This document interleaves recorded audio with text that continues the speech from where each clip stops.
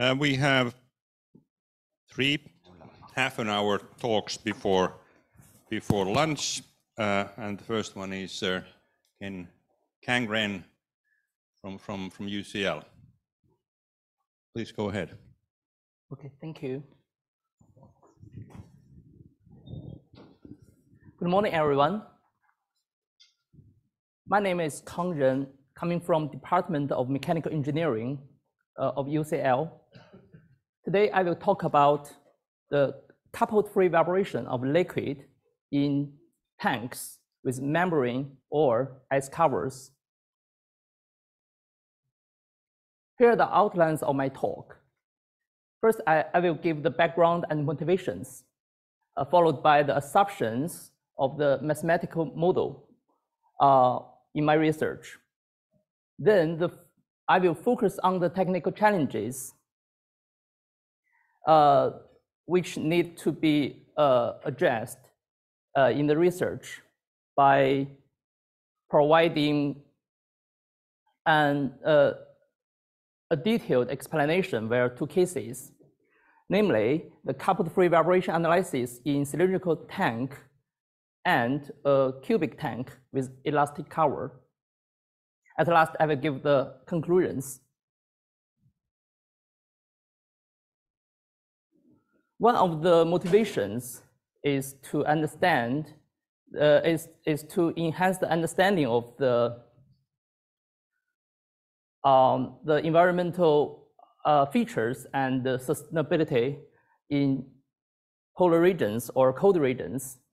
As shown in this sketch, uh, as shown in this illustration,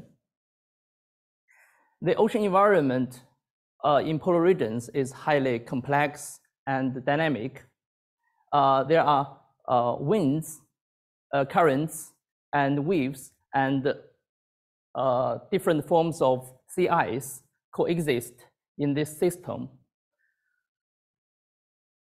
Uh, in the past decades, there have been extensive studies and publications on this topic.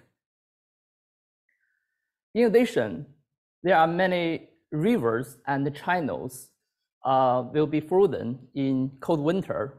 So the investigation of ice-covered channel is also a very important, a very important topic. One of my previous work is on the modes of hydroelastic waves traveling in a channel or a wave tank. Without the elastic cover, the, trans, the, the the transverse, uh, the trans, uh, sorry, the transverse modes are all coupled, uh, are all independent with, with each other, and only one of these can travel along the channel only, or it's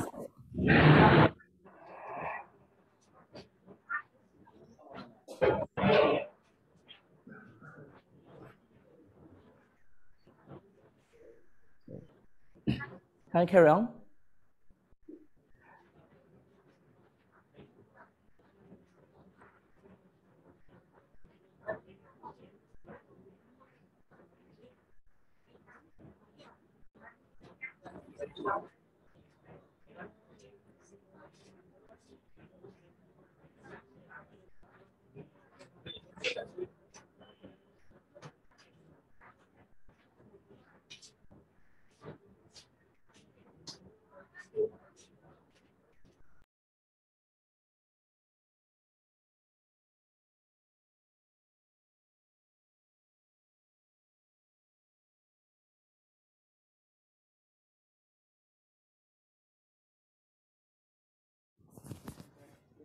I will carry on. One of my previous works on the ice-covered channel um, studied the, the modes of the hydroelastic waves traveling in the uh, channel or the wave tank. When, uh, without uh, the elastic plate uh, covering the water surface, uh, the transverse modes are all independent with with each other, and only one of these can travel along the channel uh, only, or its waveform does not change in the transverse direction. However, things will be, become very different uh, on ice-covered channel as uh, all the modes are coupled and uh, there is no wave can travel only in one single direction. In real nature, there are also some uh, frozen ponds, lakes, and reservoirs. And uh, uh, similar, uh, and similarly, uh, some there are some also also uh, ice tanks are also very important facilities in in the ex experimental study of the sea wave structure interaction. These pictures shows the Aalto ice wave tank. Uh, in such a case, the water is confined in a, a finite space beneath the ice cover.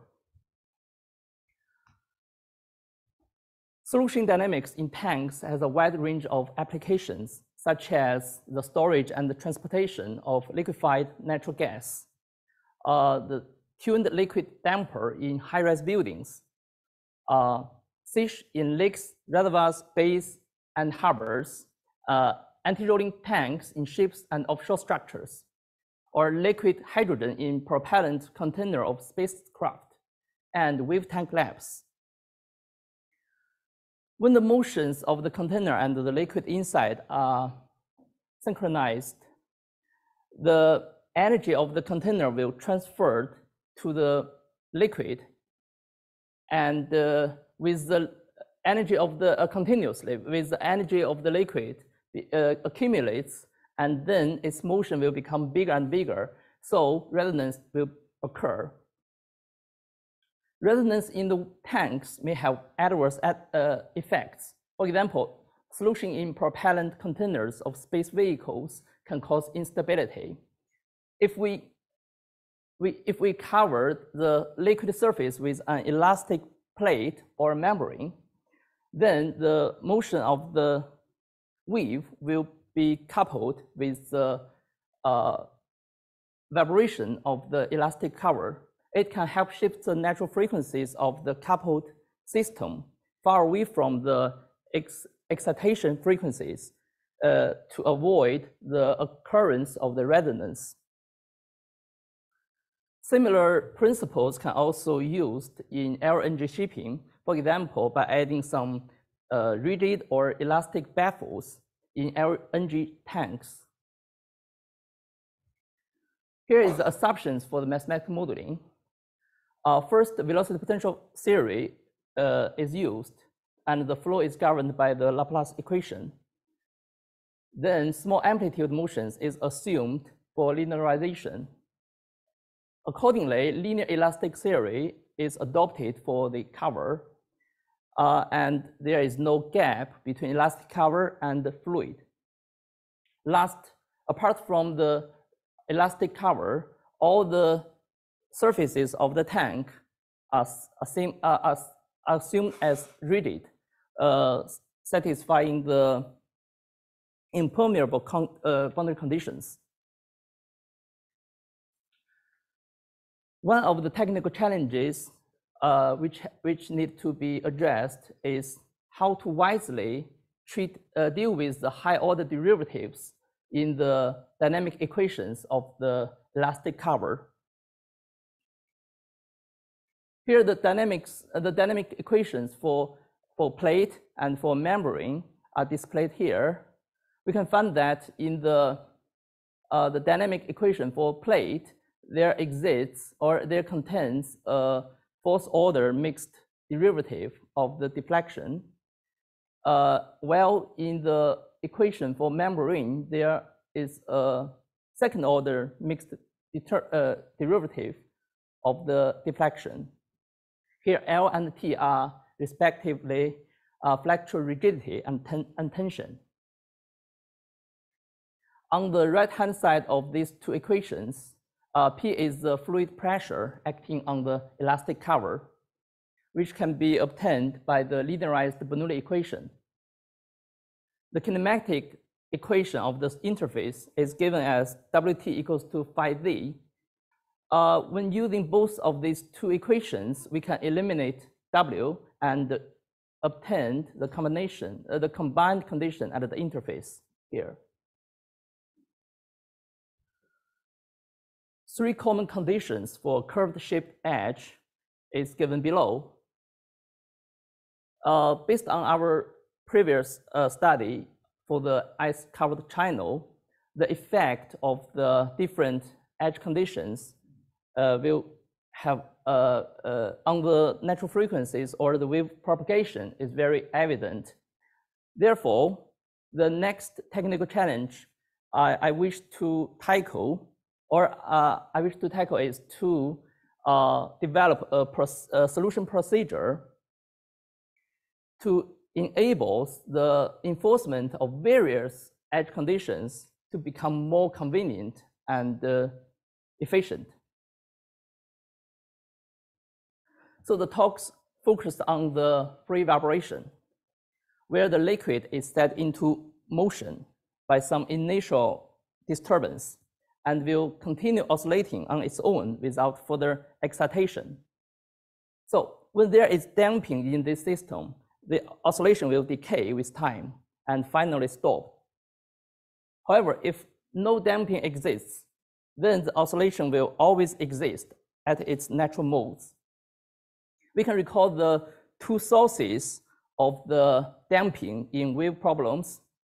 One is due to the wave radiation, and the other is due to the viscosity. Here, because, we, uh, because the tank is a confined region, so there is no wave radiation. And uh, besides, uh, we adopted the inviscid flow and non-viscous plate model in our analysis. So there is no uh, vis uh, viscous damping either. Therefore, we can solve this, this kind of problems in frequency domain by writing the velocity potential and the deflection into these forms. Here, the I is imaginary unit and the omega is the natural frequency. We reconsidered the, a classic problem invested investi investigated by H.F. Bauer uh, for the coupled frequency, uh, coupled frequency of a liquid in a, a circular cylindrical tank with, ice, uh, with elastic cover. This paper was published in Journal of Sound and Vibration in 1995. Uh, by, visiting, by revisiting this paper, we found that uh, there, there, there, there will have, uh, we can develop a more efficient uh, solution procedure to get the explicit equations for the natural frequencies. This led to a, journal, a JSV journal, journal paper in 2021.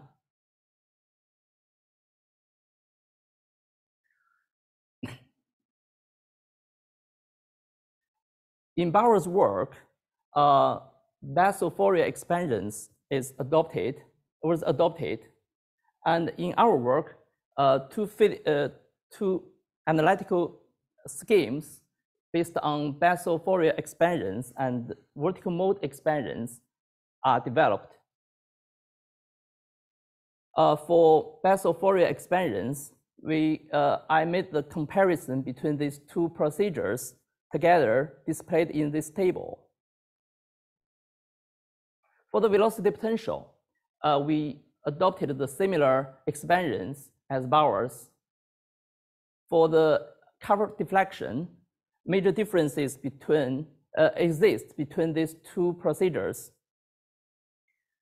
Bauer uh, expanded the deflection as two parts, uh, one double series plus one single series. The former is based on the a special solution for the homogeneous equation, and the latter is based on the uh, general solution of the uh, homogeneous uh, equation. And they used two sets of eigenfunctions. Uh, the, the eigenfunctions in the latter or in the one single series differs from that in the one uh, in the double series and in the velocity potential. In our procedure, we adopted the same type of expansions as the velocity potential. So by doing this, it is very much convenient to do the matching procedure on the interface. Uh, by using the uh, orthogonality, we can finally get a one-to-one -one relationship of the coefficients in velocity potential and cover deflection. On contrast, uh, in contrast, uh, Bauer, uh, when, when did the matching procedure on the interfaces, Bauer uh, used each element in the single series should be expanded into Bessel series first. And the unknowns are still coupled after using the orthogonality.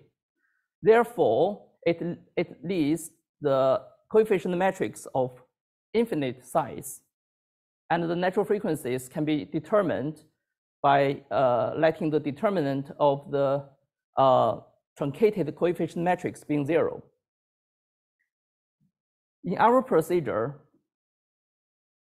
we finally get a two by two uh, matrix equations. And therefore, the explicit equations can be easily obtained. As mentioned previously, dealing with the high order derivatives is, is challenging as uh, divergence will occur if not taken good care of. So if we expand the deflection as the Bessel, uh, the Bessel, Bessel series, how can we get the expansion for the Laplacian Wn and bi-Laplacian Wn? If we apply the operator Laplacian and bi-Laplacian directly to each term of the expansion of Wn and then sum them up, the obtained infinite series usually become divergent. We may find some clues by comparing the, the Bessel series with the Fourier series, as it is well known that uh, Fourier series is not always differentiable, but integratable. So instead, we apply the integra integration by part to get the expression, to get the expansion of the Laplacian Wn and bi-Laplacian Wn. Here I just give the final results of this without giving detailed uh, derivation. Through matching the dynamic and kinematic conditions at the interface, we will we will we can write the coefficient em in the expansion of the deflection as a combination of two newly introduced unknowns at the edge. So by further uh, imposing the edge conditions, we can finally get a two by two matrix equations. explicit uh, equations for the natural frequencies uh, at clamped edge is listed below based on the Bessel Fourier expansions. Similarly, we can also get the ex explicit equations for the natural frequencies at various edge conditions uh, through vertical mode expansions. Here, I displayed the one corresponding to the clamped edge by, care, uh, by, comparis, uh, by comparing these two equations, we may find that they look very different in form. However, we have proved that they are in fact identical to each other by using the residue theorem. Here we construct a complex function f of alpha. And, uh, and then integrate this along the circle of infinite radius centered at the origin of the uh, complex plane. By using the residue theorem, we can get the summation of these two infinite series in the bracket equals to zero. So it is obviously uh, it is obvious that if one of these infinite series is zero, then the other one is also zero. This figure shows the regular points uh, from, from the zero denominators.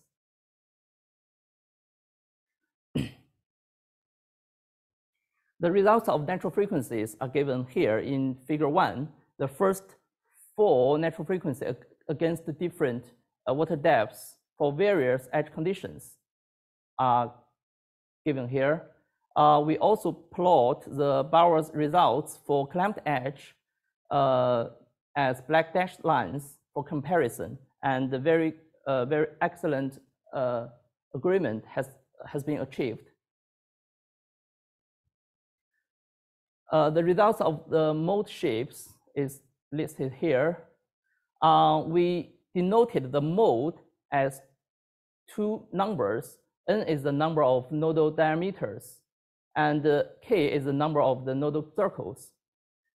For example, in figure 2a, the N is zero, uh, which means that the, the mode shape is axisymmetric, and the, the number of nodal circles is three. Now let's move to the cubic tank case. Uh, to emphasize the new challenges I have to uh, tackle, I made the comparison between these two cases. Uh, we can find that there is no coupling among different uh, circum uh, circumferential modes in circular cylindrical tank, while the modes are usually coupled in cubic tank. For the velocity potential, Bessel Fourier series are adopted in circular cylindrical tank, while double cosine series is adopted in cubic tank case. For the cover deflection, we use the same the, the, we use the same type of expansions as the velocity potential, uh, and then we use the integration by part to derive the expansions of uh, of high uh, high order derivatives of the deflection, as mentioned above. However, uh, integration by part cannot be used for the cub cubic tank case.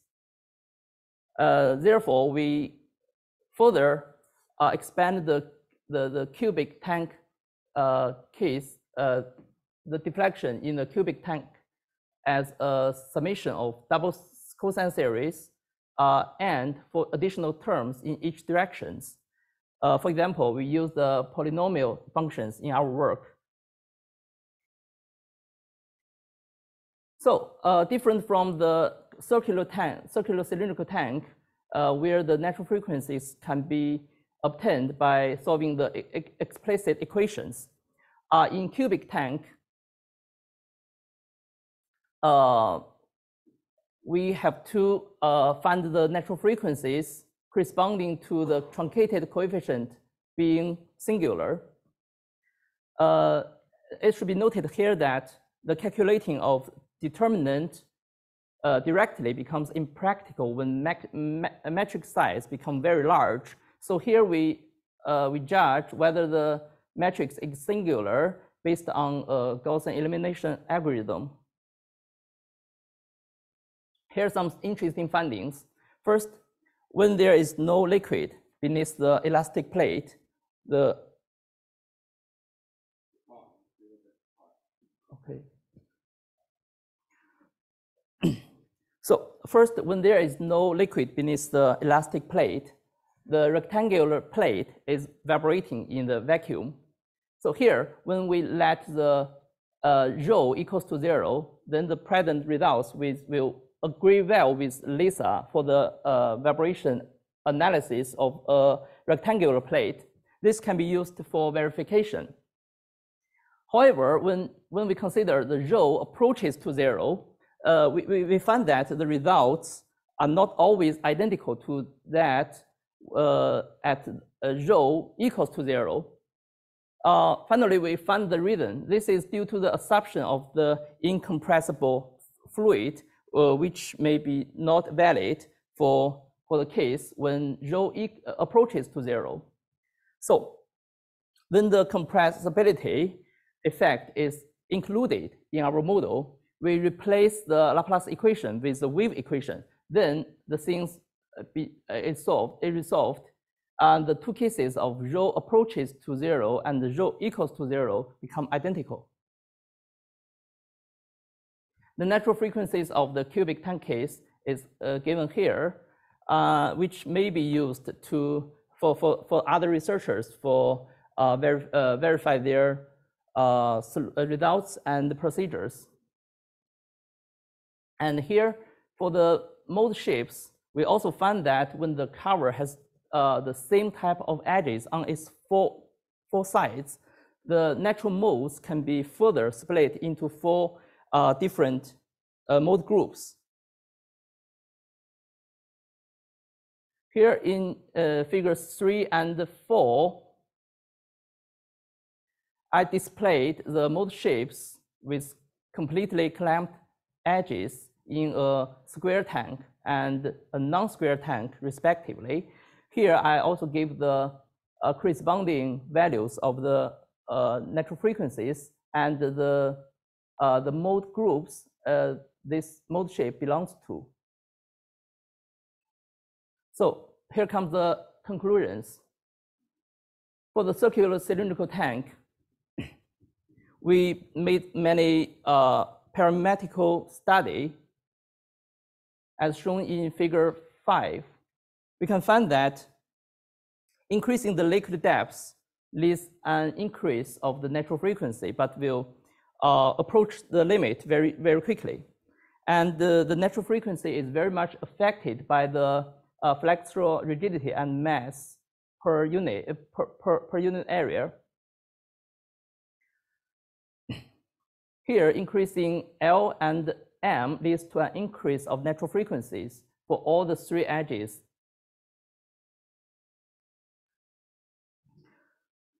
Second, the natural frequency is independent to liquid density for free surface sloshing problem. However, this, this is different from here.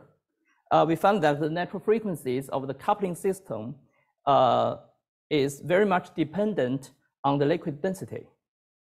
Here we also have some conclusions uh, for the mode shapes and for the maximum principal strains as shown in figure six. Okay, thank you for your attention.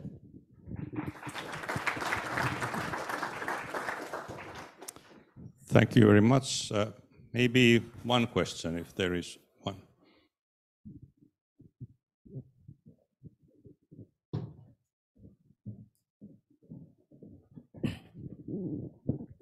Uh, Thank you very much. It's not question, it's uh, uh, actually comment.